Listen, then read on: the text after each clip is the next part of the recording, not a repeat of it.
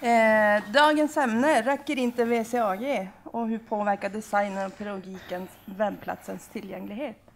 Kul att se så många här. Eh, lite kort om vårt företag. Eh, ETU heter vi. Vi eh, har då huvudkontoret i Sundbyberg, men vi sitter eh, uppe i Piteå, jag och Stina, och jobbar just med, med tillgänglighet. Vi består av ett antal olika avdelningar. Eh, vad gör vi då? Ja, vi gör bland annat VCAG-analyser där vi kontrollerar eh, eh, webbplatser utifrån den standard som finns, internationella standarden. Vi gör tester med användare. Och då, vårt eh, fokus är ju då att vi testar tillsammans med användare som har någon form av eh, funktionsnedsättning, alltså med hjälpmedel eller att man har problem med vissa saker. Expertstöd, analyser, att vi kan gå in och, och, vara med i ett webbprojekt exempelvis. Att vi är med redan från början och fungerar som eh, experter i eh, det projektet. Och såklart utbilda redaktörer, alltså att när man har gjort en bra webbplats så bör man ju också få en grund hur man bibehåller och fortsätter att utveckla webbplatsen så att den blir bra. Eh, HTML är ju en sak, men sen så finns det också pdf-er och även det så hjälper vi till att både skapa och utbilda för att även det ska vara tillgängligt. Eh, det vi ska prata om idag så hämtar vi eh, den informationen från en studie som vi har gjort under förra året. Och det var då grunden till det hela var att när vi har arbetat med de som utvecklar e-handelswebbplatser så säger de eh, men räcker det inte med VCAG då? Nej, eh, säger vi, man måste nog, nog, hitta bättre saker också. Ni måste testa med användare. Ja, men sa de, hur ser den bästa varukorgen ut då? Ja, hur ser den ut? Det vet vi inte riktigt. Och det är lite grann grunden till den här eh, studien som vi gjorde, där vi då fick titta på eh, Eh, ett antal webbplatser tillsammans med användare. Eh, det var då en innovationstävling som vi var med i eh, och eh, Post och telestyrelsen stod bakom den tävlingen som vi var med och fick då medel och resurser att Eh, göra den här studien under ungefär ett års tid. Eh, vi gjorde då analyser utifrån VCAG eh, och vi gjorde också tester tillsammans med användare. Det här resultatet som vi kommer att prata om hoppas vi då ni ska kunna ta med er. Om ni tar en e-handel så kan ni ändå ta med er de här tipsen som vi kommer att visa på. Eh, målet med studien var då att öka tillgängligheten och användbarheten på e-handelswebbplatsen enligt tanken design för alla. Alltså att så många som möjligt ska kunna vara delaktiga och utföra till exempel ett köp. Eh, det vi då ville göra var att ta fram kriterier alltså för just e-handel och även visa på goda exempel. Att inte säga att det här var dåligt utan mera det här var en bra varukorg och här har ni ytterligare en, att se vad som var bra i dem. Och sen också att försöka öka kunskapen hos de som arbetar just med e-handel. Och ettan var lättare än tvåan kan vi väl säga. Eh, de e-handelswebbplatser som deltog i studien så, så, var det ju då sex stycken och de eh, sålde då olika produkter och var lite olika stora också. Eh, vi hade tio eh, testpersoner som deltog i studien. Eh, vi hade bland annat två stycken läs och skrivsvårigheter, eh, dyslexi. Eh, och sen så har vi då det man då kallar normalanvändare. Eh, nu finns det väl kanske inte riktigt normalstörd brukar vi eh, säga också. Men innebär att man inte har en funktionsnedsättning. Ehm, vi hade krav på att de var tvungna att vara över 18 år och att eh, vi vill att de ska ha genomfört ett köp eh, någon gång på en e-handelswebbplats också. Eh, steg i testningen, alltså hur vi, vad var det vi testade då på, en, på den här e-handelswebbplatsen? Jo, det var ju då att hitta en produkt, eh, göra val av en produkt efter en sökning eller en filtrering Eh, läsa mer om produkten, att man bara har den här produktsidan uppe. Lägga produkter i varukorgen och kontrollera varukorgen. Finns varan jag köpte där? Och sen att genomföra köpet. De här momenten hittar du ju på en e-handelswebbplats. Det finns ju med i olika tappningar kan man väl säga. Så vad kom vi fram till då? Eh, en sån här sida med väldigt mycket information så har man problem att se vad det egentligen står.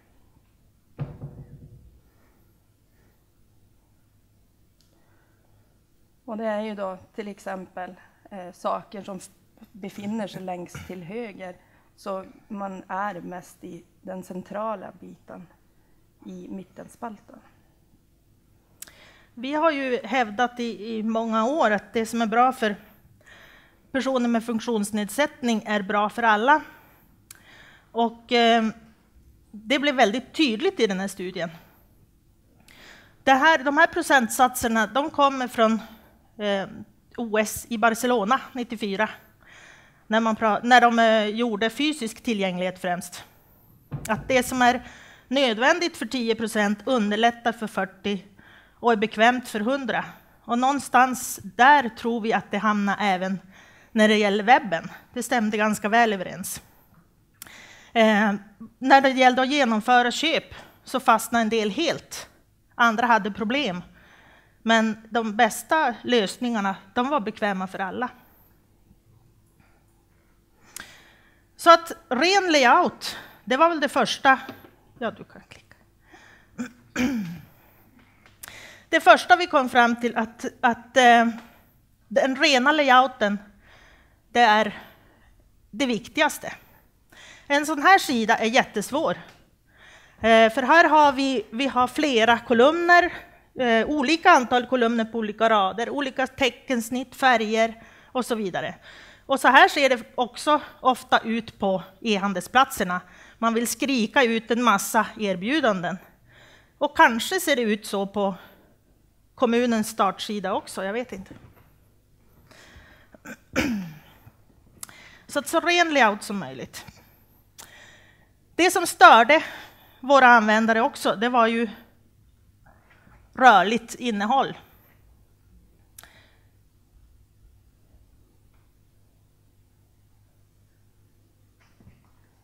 Ja, den inte så bra. Nej. Men i alla fall, när det rör sig innehåll på sidan som det gör här. Så för, särskilt för personer som har koncentrationssvårigheter så tar hela tiden de här grejerna fokus. Så försöker jag läsa inne på sidan och så rör det sig, då dras ögat hela tiden dit. Så rörelse på sidan, det, det var ett eh, problem för många av användarna. Kan vi säga, igår när vi tittade på den här också så hade de text som också kom och eh, bläddrades där uppe. Så. Vandrade på sidan.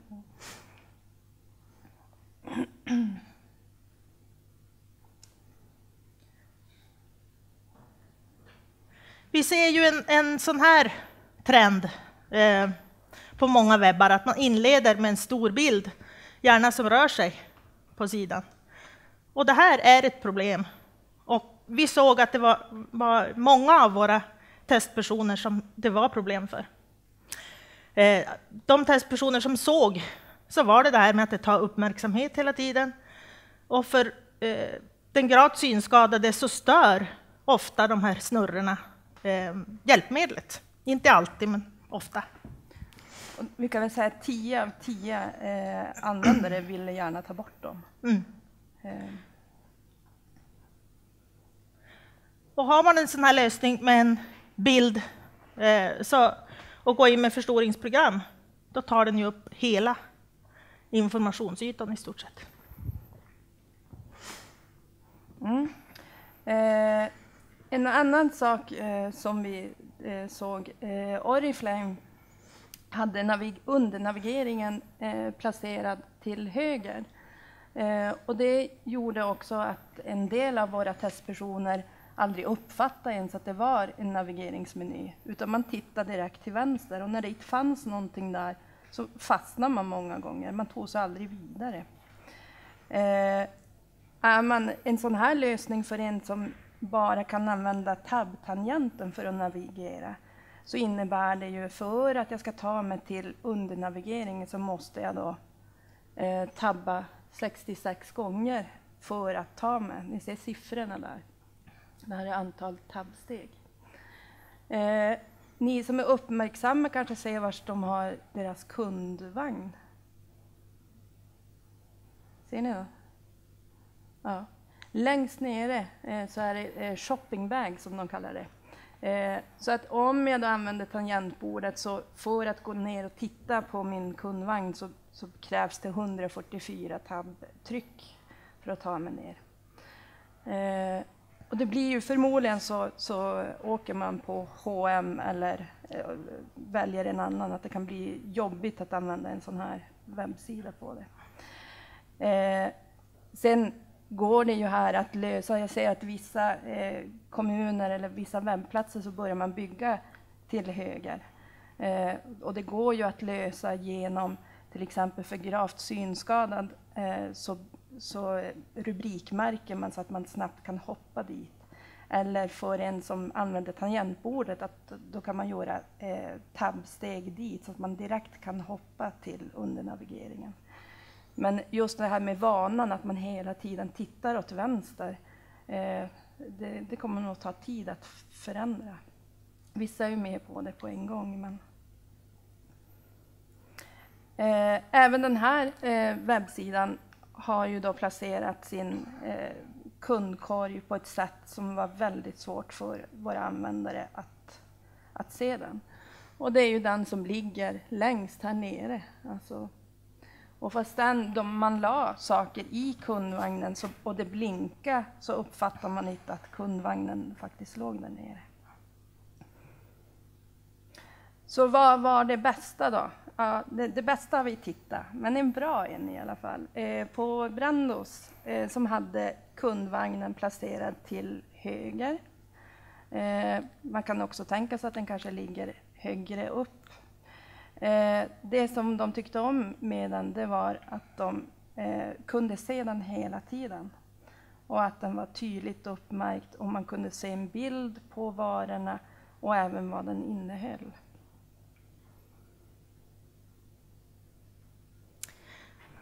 Ett tydligt resultat också, det var att det här med inramning och gruppering, hur viktigt det är att man ramar in saker som hör ihop.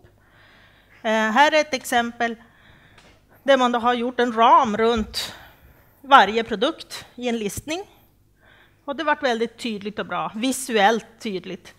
Ehm, sen gör man ju också en, en eh, gruppering tekniskt med att lägga en rubrik, och då ska ju helst rubriken ligga högst upp i den här grupperingen. Här har man lite information innan. Men rubriken längst upp och sen innehållet. Så grupperar man det både visuellt och tekniskt.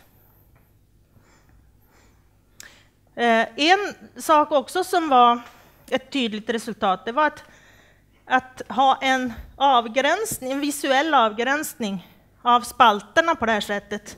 Att man får in en linje på varje sida. Det hjälper eh, flera grupper, både de med koncentrationssvårigheter och eh, med dyslexi blev det lättare att ta till sig innehållet på en sida som har en tydlig avgränsning på båda sidorna.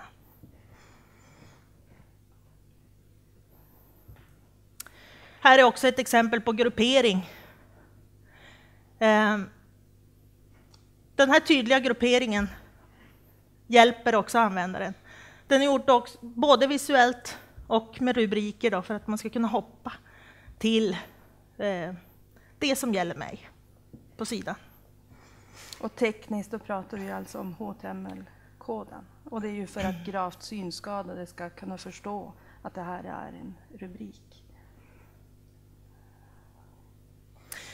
Det, det som också blev tydligt det var att det är viktigt att saker kommer i rätt ordning, att det finns ett flöde eh, genom sidorna som är naturligt. Att man, man, eh, som jag sa, när man grupperar information, rubriken först. Och att man hjälper användaren att förstå vart man är och vart man kommer att hamna också i en process. Här är ett exempel på ett formulär. Eh, vad är problemet med det här formuläret? Är det någon som kan tänka sig det?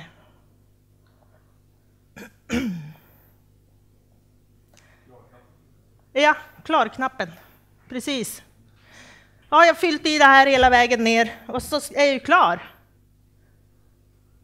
Och då är det jättesvårt att hitta den där klarknappen.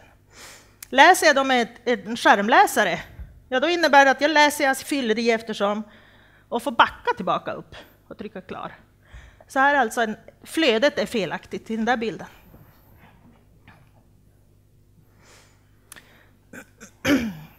Om vi hämtar eh, exempel från den här eh, undersökningen då, så det här, den här uppställningen fungerar bra. Jag har en bild och så har jag det som, eh, som presenterar produkten och lägg i kundvagn. En naturlig ordning.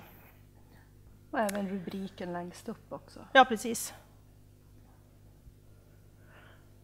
Och här så har vi, här hade då särskilt vår testperson med eh, kognitiv nedsättning, förvärvad hjärnskada.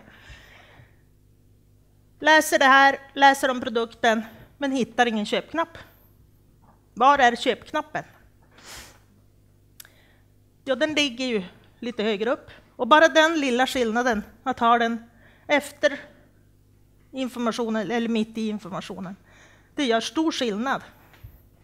Och samma sak gäller i det där exemplet.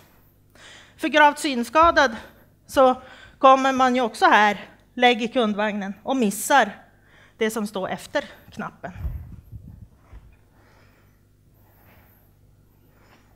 Eh, lite grann om eh, gruppering.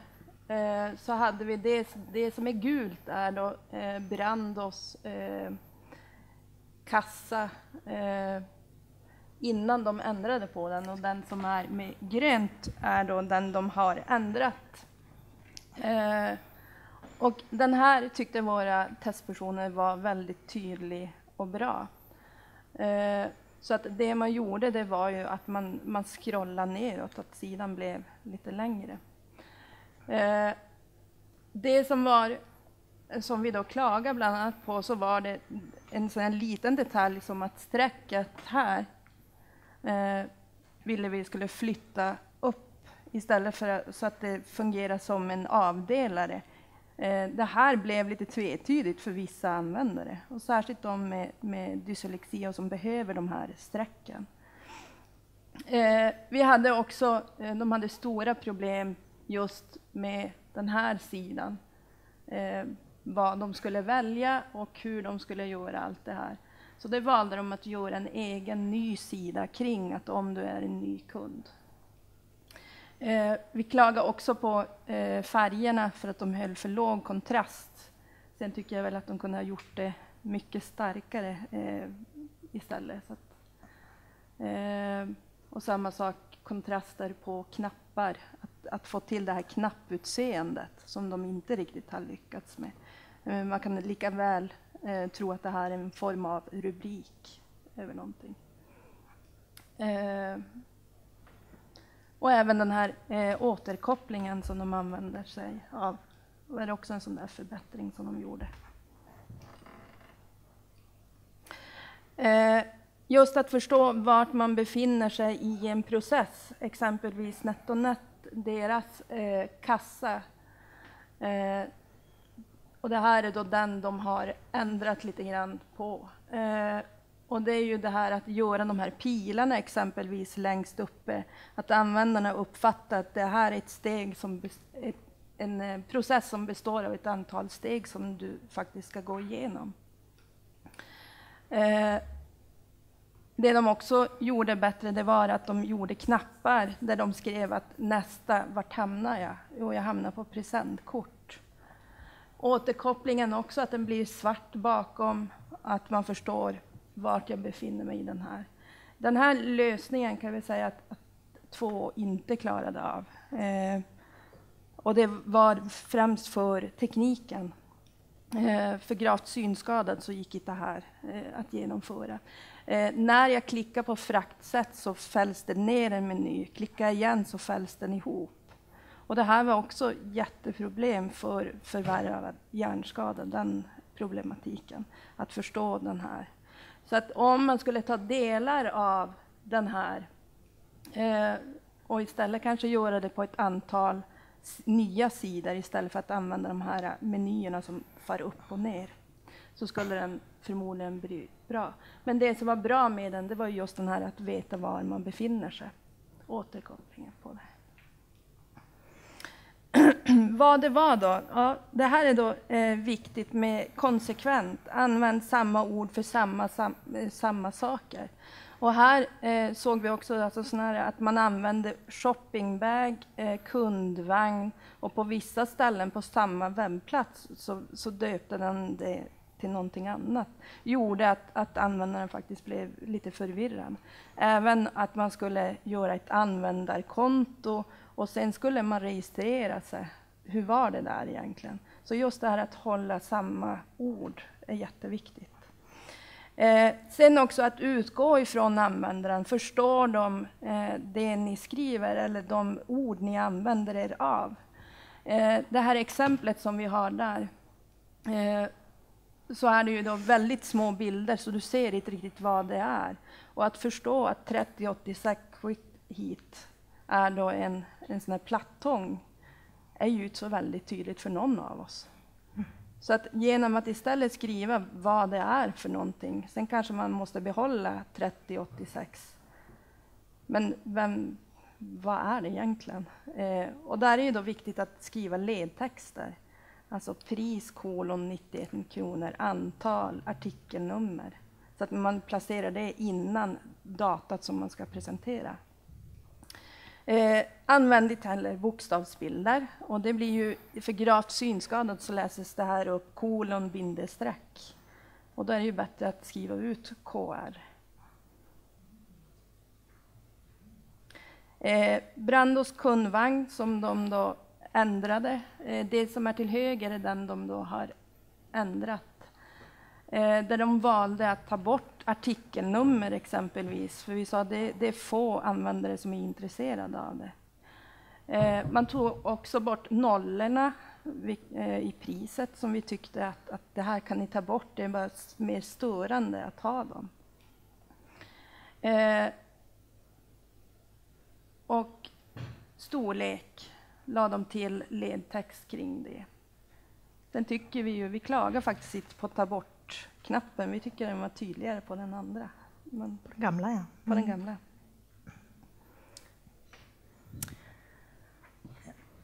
Det finns ju mycket symboler som används eh, på eh, e-handelsplatser. Och symboler är ju ofta bra att förstärka eh, budskapet, höll jag på att säga. Men till exempel, lägg i kundvagn med en symbol och att kundvagnen har samma symbol, så ser vi ju att det är hopkopplat och det hjälpte många användare. Eh, däremot så var det lite si och så med att tala om då med alternativtexter vad symbolerna betydde. Eh, till exempel de här här nere, tror jag den plusset heter add, eh, alltså på engelska.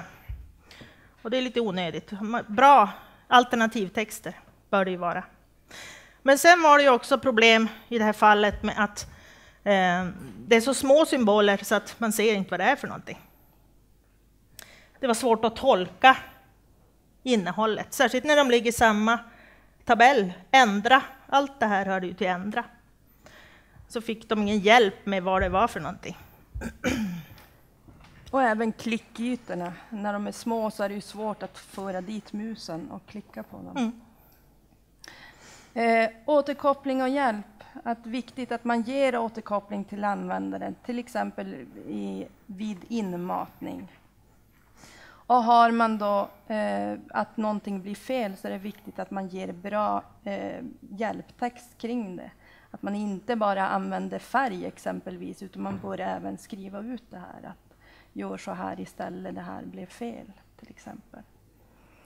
Eh, återkoppling Eh, när det gäller att, att utföra någonting, som i det här fallet att lägga i kundvagnen, eh, så fanns det då ett antal varianter. Eh, och det var bland annat att, att själva kundvagnen darrade till och man såg att någonting hände. Och det är bra för vissa användare, men är man då gravt synskadad så är, så är det ju problematiskt. Så man måste göra det både visuellt men även tekniskt.